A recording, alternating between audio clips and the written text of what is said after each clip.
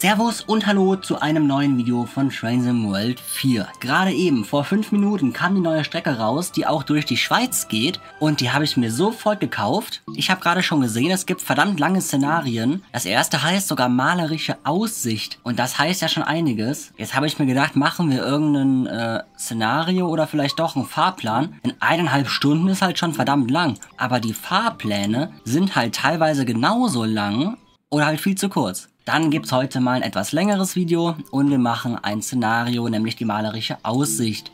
Malerische Aussicht. Ach, jetzt bin ich mal gespannt. Zug nach Alp Grün und wünscht eine angenehme Reise. Bei Fragen stehen wir Ihnen gerne zur Verfügung. Willkommen bei Ospin zu irgend... Ja, okay, egal.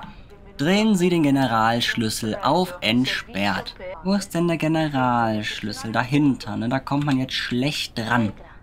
So, dann stellen Sie den Richtungsschalter auf vorwärts. Vorwärts. Türen entriegeln. Das sieht ja schon echt professionell aus hier. Türen entriegeln. Wie mache ich das denn hier? Linke Türe öffnen. Ja, das sah richtig aus. Jetzt bin ich mal gespannt, wie das Ding aussieht. Ich war noch nie in der Schweiz und die Züge kenne ich dementsprechend auch nicht. Sieht aber schön aus. Das Ding ist ja auch die Bahnen in der Schweiz, zumindest die hier, die fahren ja auch manchmal mitten durch die Orte durch und gehen dann wieder in die Berge hoch. Das ist echt der Hammer. Und wenn ich die Lok schon sehe, das lässt einiges vermuten. Richtig schön im Schnee. Und wenn das Szenario heißt gute Aussicht, oder wie ist das nochmal, dann äh, erwarte ich einiges. Also das wird sicher cool. Tirano. Aber ich sehe gerade, irgendwie kann man auf beiden Seiten aussteigen. Kann das sein? Oder ist das kein Bahnsteig hier, weil hier stehen welche? Kommt man darüber? Ich meine, die Schweiz ist ja auch was entspannter. Vielleicht äh, kann man da einfach flott übers Gleis huschen. Also, wir steigen mal wieder ein. Also, hinsetzen. Wir gucken jetzt mal, dass wir vorankommen. Denn das Szenario dauert lang genug. So, wie mache ich jetzt beide zu? Türen schließen. Perfekt. Dann haben wir Lampen für innen, falls es Tunnel gibt. Führerstandsbeleuchtung, sehr gut. Sicherheitssysteme lassen wir mal aus. Ich weiß nicht, wie die funktionieren in der Schweiz. Oh, da kommt der Kollege. Wieso haben die denn Treibstoff hinten dran? Ist das für die Einwohner da oben? Sind zu kalt? Aber auch eine ganz andere Kupplung. Wie funktioniert das hier? Führerbremsventil lösen. Ach, das ist mein Tempomat quasi, wie die AFB. Das gefällt mir. Okay, dann geben wir jetzt mal Gas auf 20%. Und wir fahren. Ist das schön. Einfach ein Zug in der Schweiz. Ist das schon die Schweiz? Oder fahren wir dahin oder durch? Ich kenne mich nicht so aus, ehrlich gesagt. Ich habe nur gesehen Schweiz und habe direkt gedacht, kaufen. Ähm, ja, also ich lasse mich einfach mal überraschen. Ist das ein zugefrorener See? Warte mal. Du hast noch nicht geliked und abonniert? Obwohl der Algorithmus das Einzige ist, was diesen Kanal am Leben hält? Warum nicht? Dann aber schnell. Das sieht sehr so aus, oder? Ist ja krass. Aber auch, dass diese Züge die Temperaturen aushalten, meine Güte. Wir haben hinten so ein paar Bimmelbahnwaggons dran. Ist das normal? Man kann ja auch richtig schön nach hinten gucken, außer man ist so Asi und macht die Dinger runter, wie die ganzen in echt immer. Aber ich mach das natürlich nicht. Wahnsinn, sogar hier mitten in den Bergen haben die Elektro hinbekommen. Nur bei uns fährt die Euregiobahn mit Diesel. So, da vorne muss ich halten, also einmal bitte Gas rausnehmen und bremsen. Ach, hier muss ich halten. Hä, ich dachte, das ist eine Haltestelle. Ach, Aussichtspunkt. Ach so, da kann ich lange warten. Erlauben Sie den Fahrgästen Fotos zu machen. Ich guck mal rüber. So, moin. Ach, hier ist sogar eine Karte auf den Tischen drauf. Ich soll weiterfahren. Ja, lass mich mal kurz gucken. Ich will den Zug mal kurz kennenlernen. Relativ schön hier innen, wie so ein normaler Regionalexpress. Aber ich würde gerne mal in die anderen Waggons reingucken. Aber da komme ich nicht rein, ne? Dann steigen wir mal ganz kurz aus. Dürfen wir zwar nicht, aber mein Gott. So, also, boah, ist das, ist das hier Schnee? Warum stecke ich denn so tief im Boden drin? So, hier will ich kurz rein. Ach, das ist ja cool. Richtiges Panoramaabteil. Jetzt kann ich hier sitzen. Alter, ist das eine Aussicht. Wahnsinn. Tür wieder zu. Jetzt huschen wir schnell wieder rein, sonst denkt noch jemand, wir wären ausgestiegen. Also Tür zu, hinsetzen und wir fahren weiter. Ist das schön hier? Vielleicht dürfen wir nur noch 35 fahren. Das ist ja langsam. Wahrscheinlich geht das deswegen so lang, das Szenario hier. Auch wieder schön viele Fenster. Wahnsinn. Aha, und hier ist ein richtiger Tunnel. Das ist doch cool. Der ist zwar nicht so lang, In aber da sieht man jetzt mal die Lampen. wir den einzigartigen Aussichtspunkt Alpgrün auf 2091 Metern. Ah ja. Sicht auf den Palü-Gletscher und den Piz Palü. Hier eröffnet sich ein herrlicher Blick über das Puschlaf, das Val Poschiavo. In der Ferne spiegelt sich die Wasserfläche des Puschlava-Sees. Das ist ja cool, einfach mit Ansage, was man sieht. Es ist ja die reinste Sightseeing-Tour. Ist das schön. Gleich in 900 Meter soll ich auch nochmal anhalten. Da ist auch so ein Aussichtspunkt. Boah, ist das der Wahnsinn hier.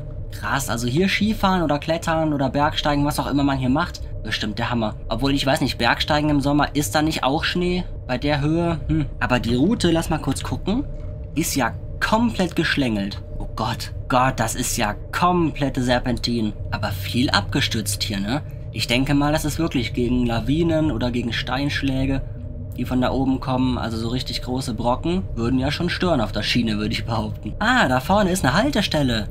Das ist der Aussichtspunkt, das ist ja cool. Dann einmal Gas rausnehmen und langsam bremsen. So, da bin ich. Servus. Warum hält der nicht an? Also die Bremse ist irgendwie ein bisschen, hm, ein bisschen weird. Ähm, erlauben Sie den Fahrgästen Fotos zu machen. Ja, kein Problem. Ich will auch nochmal gucken. Einmal raus. Boah, das ist ja der Wahnsinn. Einfach so eine Hütte hier und mitten auf den Bergen stehen einfach wir mit dem Zug. Ich würde mal gerne wissen, wie viel Steigung diese Strecke hat. Bestimmt an manchen Stellen richtig ordentlich. So, jetzt äh, geht's weiter. Einmal, hoppala, das war die Pfeife. Bremse lösen, Bremse lösen und Gas geben. Boah, jetzt geht's hier neben uns sowas von tief in eine Schlucht. Die ist voll vernebelt, man sieht gar nichts. Und wie steil? 7% steht da, meine ich, ne? Oder? Lese ich das richtig? Das wäre ja richtig viel. Wie kommt der Zug hier wieder hoch? Oder fährt der gar nicht hoch? Ich glaube, der fährt nur runter, oder? Jetzt geht's da wieder durch. Ach, ist das schön. Ach so, ich wollte ja mal gucken, was haben wir denn jetzt hier eigentlich? Haben wir Fernlicht oder so? Ach so, Zugspitzensignale.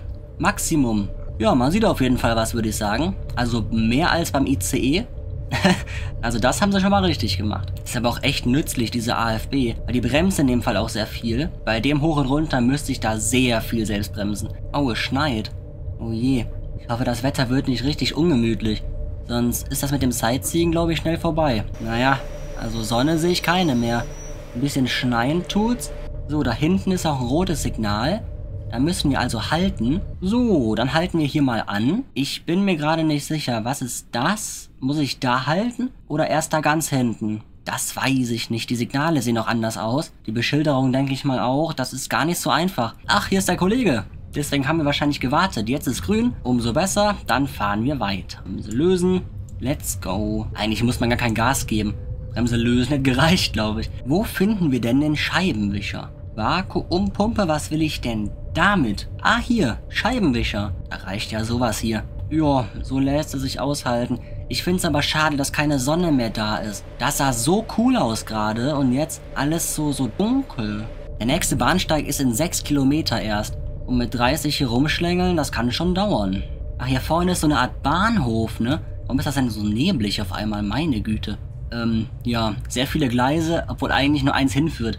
Da kann man auch gut Züge aneinander vorbeifahren lassen oder überholen lassen oder so. Brauchst du ja auch, sonst kannst du ja nur einen fahren lassen. Also ein Zug, ne?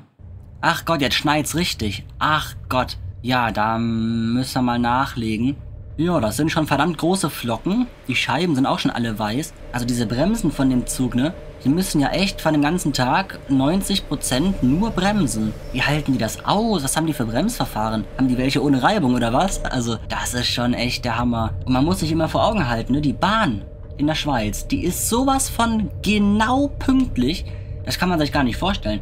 Und wir in Deutschland kriegen es nicht mal gebacken, dass ein normaler Regionalexpress pünktlich kommt. Und die hier fahren durch Schnee, durch Berge, durch Eis, bei Wind und Wetter. Das sind schon ganz andere Bedingungen. Leute, ich habe mal eine Frage. Und zwar steht da oben ja an einem Ort anhalten. 2,9 Kilometer. Ist das die Strecke Luftlinie? Ich glaube nämlich schon, weil ich fahre jetzt schon ewig und es wird einfach nicht weniger und das könnte an den Serpentinen liegen, dann äh, zeigt der wirklich Luftlinie an. Das würde mich zwar sehr wundern, weil ich immer dachte, das wäre die Strecke, die ich noch fahren muss, aber das würde eher hinkommen.